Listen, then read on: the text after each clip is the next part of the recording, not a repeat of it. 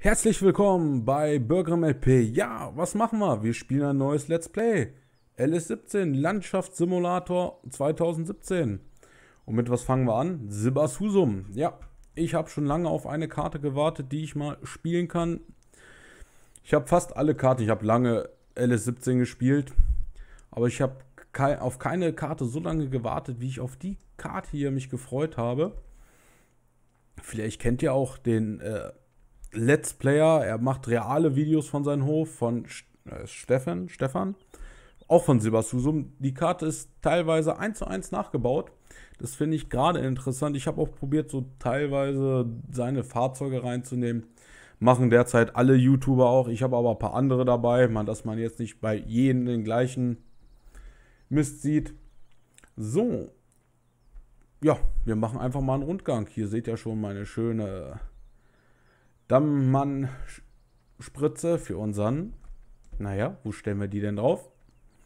Wir gehen mal um Ecke. Ich habe den Fuhrpad ein bisschen verändert, habe ein bisschen was verkauft. Bisschen was neu geholt. Schon, wie ihr seht, ein paar Big Packs habe ich schon gekauft mit unseren schönen, was heißt Kipper, Plattwagen. Ja, was haben wir hier? Im Realen hat er hier sein, seine Hackschnitzel drin. Hier wiederum, wie ihr seht, hier ist eine Getreidetrocknung, die wiederum eher.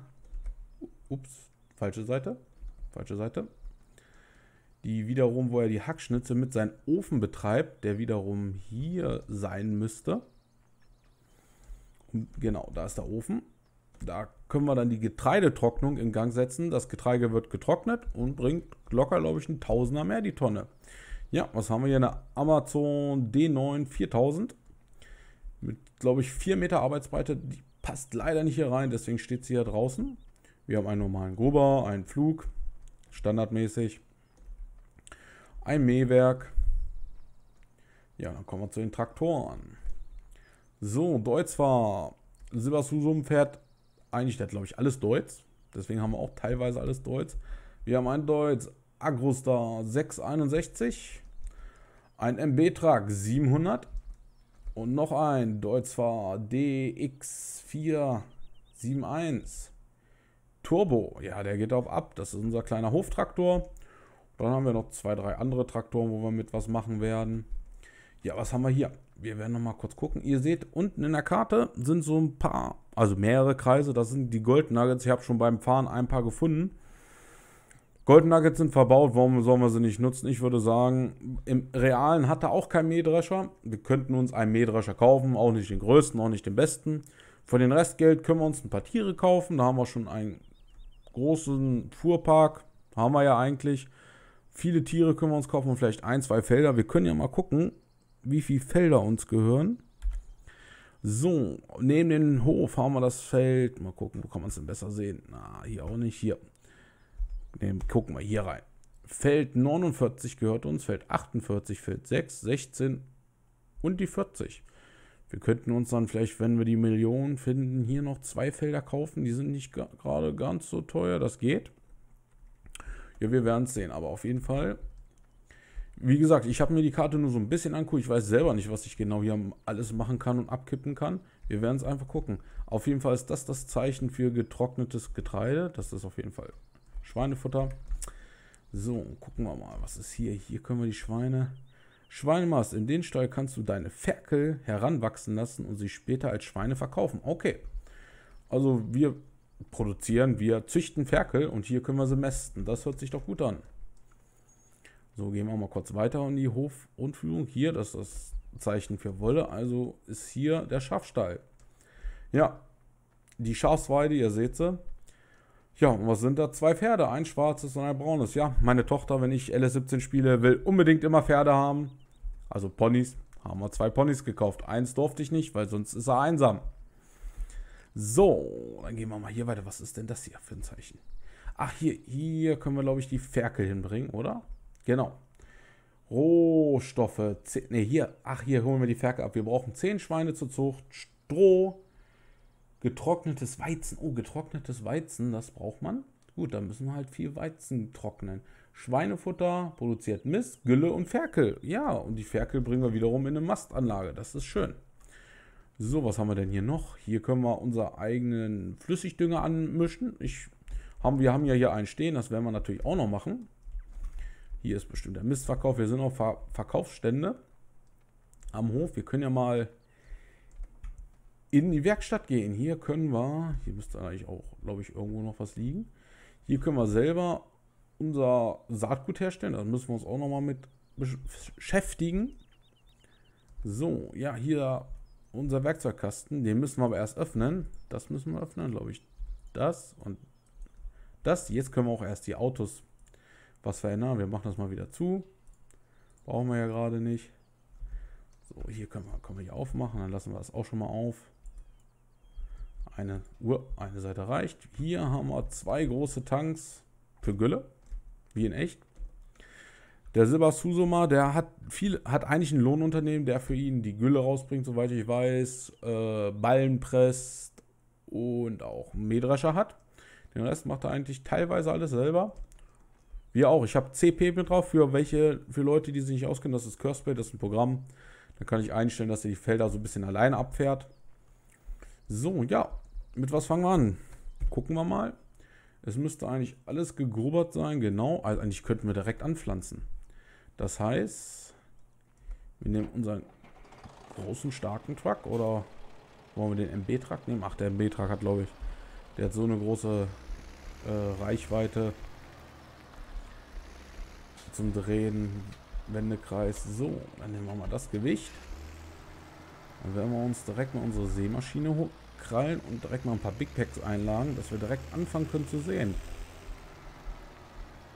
Wie viel Felder hatten wir jetzt nochmal genau? Ich würde sagen, Feld 6 machen wir auf jeden Fall. Wir fangen erstmal mit die beiden Felder.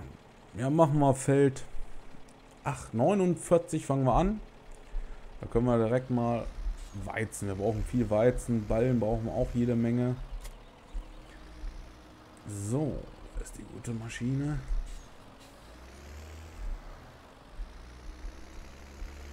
So, ich werde auch ein bisschen mit Curseplay, was heißt bisschen, ich werde ein bisschen mehr mit Curseplay arbeiten, dass ich auch ein paar andere Sachen machen kann.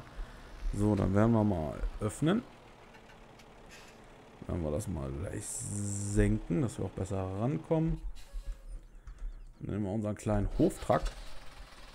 Ja, er rattert. So. Dann werden wir direkt die Gabel aufnehmen. Den Frontlader. So. Und zack. So. Ja, ein Freund von mir wird auf jeden Fall, glaube ich, diese Folge hier gucken. Oder die anderen. Ich grüße dich, Jürgen, mein alter Freund.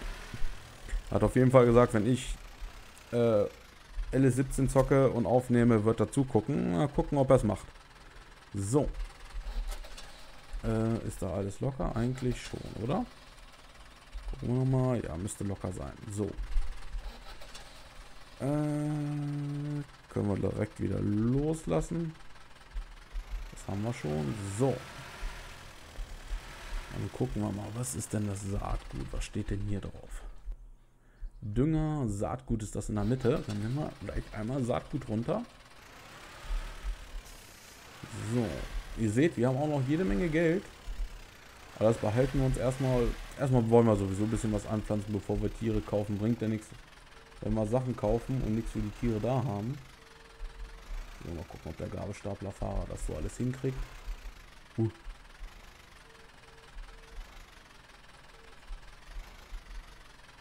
Was dreht die denn so ab?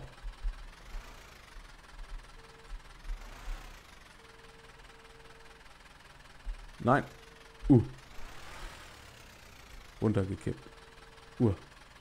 Jetzt weiß ich, was ich vergessen habe wollte das ein Gewicht hier noch dranhängen. Weil ich wusste, dass wir nach vorne kippen. Okay. Da habe ich jetzt gerade nicht dran gedacht. Uh, dann wollen wir mal schnell das Gewicht von den MB-Truck nehmen. Oh, der Sound von MB-Truck ist geil.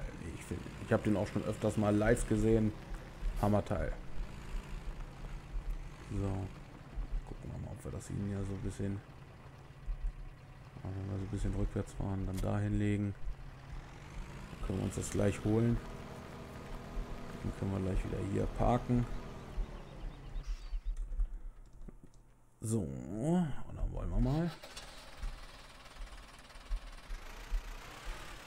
Uh, uh, uh. Fahren wir mal langsam, langsam, langsam.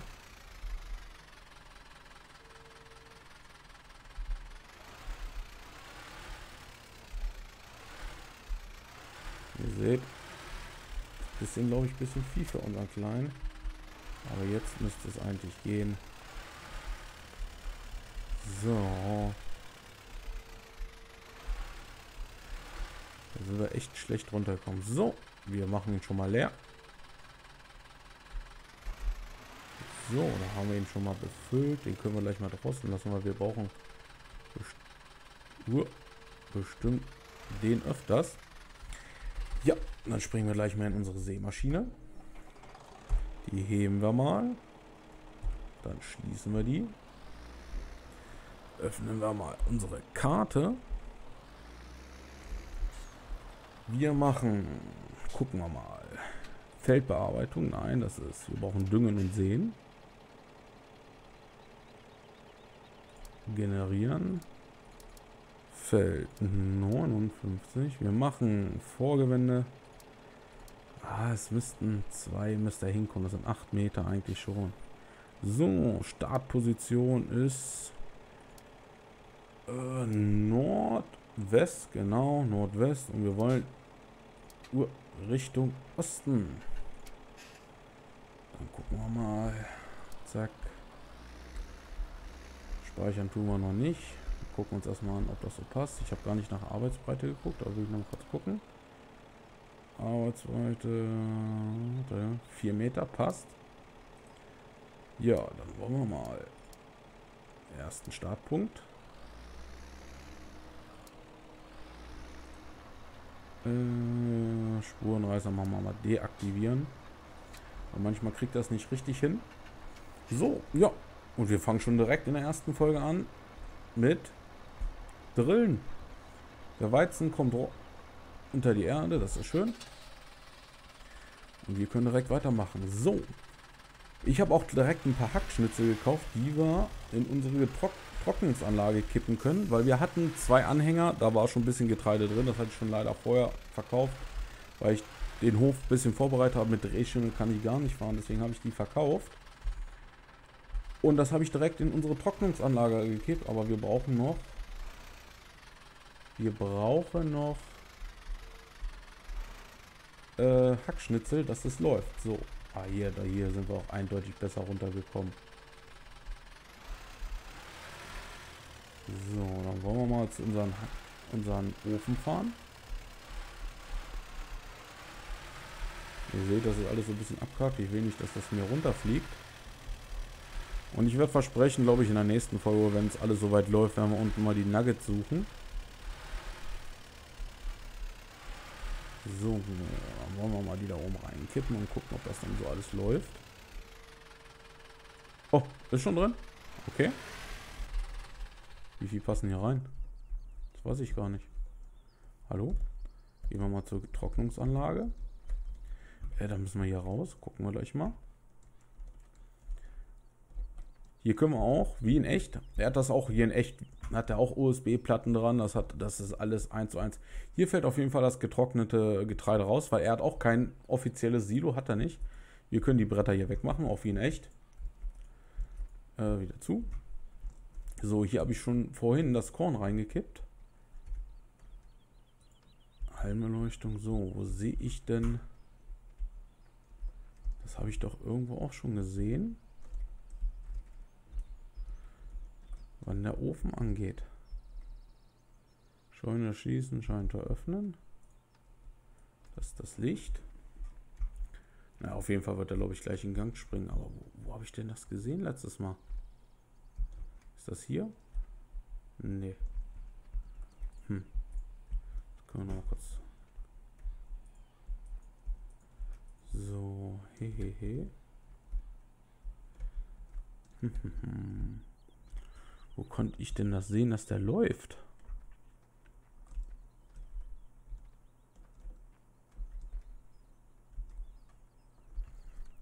Dann machen wir das vielleicht so. Moment, wie war das denn? So, allgemein, wir kaufen uns die App, dass wir die Fabriken sehen. So, zack, zurück. Dann gucken wir gleich mal hier. Getreidetrocknung, Details. Weizen haben wir 12.000 drin.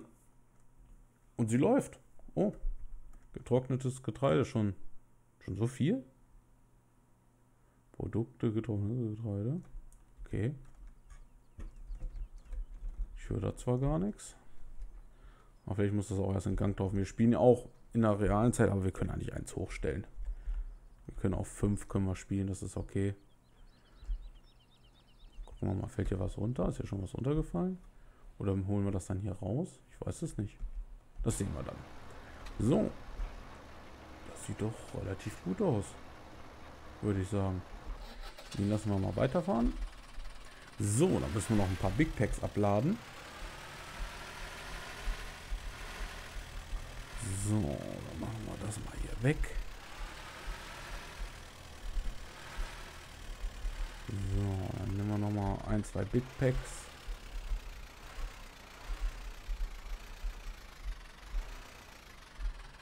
Uh. Check. Was ist denn jetzt los? Ach, wir hängen da fest. Okay.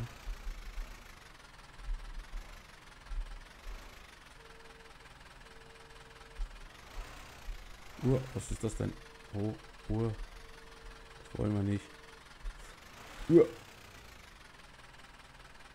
Okay.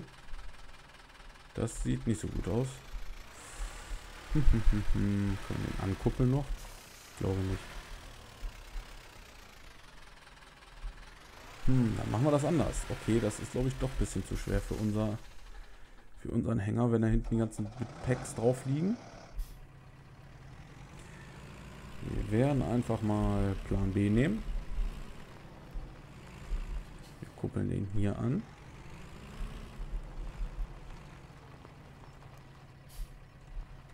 Kommen wir da jetzt auch nicht mehr ran? Ist das zu hoch? Oh Mann. Oh Mann, erste Folge und gleich so ein Missgeschick. Kein Problem. Plan C geht auch noch.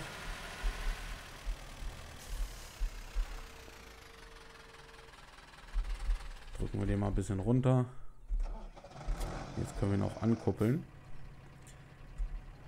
So, dann nehmen wir nochmal alles auf. Z.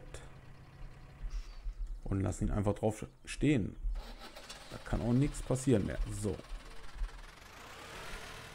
So, was haben wir denn drauf? Hinten haben wir Hackschnitzel. Wir fangen erstmal mit den Hackschnitzeln an abzuladen. Die können wir gleich da äh, zur Heizung bringen. Später würde ich sagen, können wir uns auch diese Halle hier schön voll kippen. Aber ich glaube, man kann die gar nicht einzeln entleeren.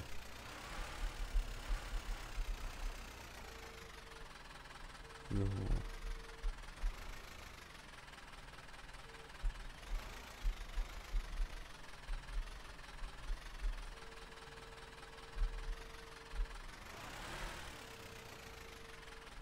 So, da haben wir einen guten Hackschnitzel. 2000 Liter sind das. Die waren, oh, glaube ich, 700 Euro, 800 Euro. Wir probieren mal was, das wird nicht die ganze Zeit ständig, weil ich spiele auch ohne Gaspedal, da ist das immer so ein bisschen ruckartig.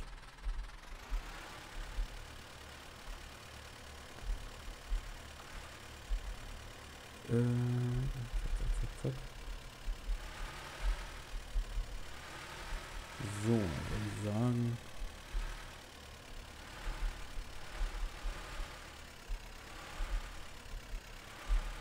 Können wir sie eigentlich direkt hier vorstellen, oder? So, wir stellen sie innen gegen, da stören sie ja nicht ganz so. Hier haben wir auch noch ein Gewicht. Ja, hier haben wir noch unsere anderen Hilfsmittel, die wir haben. Ein etc., ein Cetera, ein Schwader und ein Düngerstreuer haben wir natürlich auch.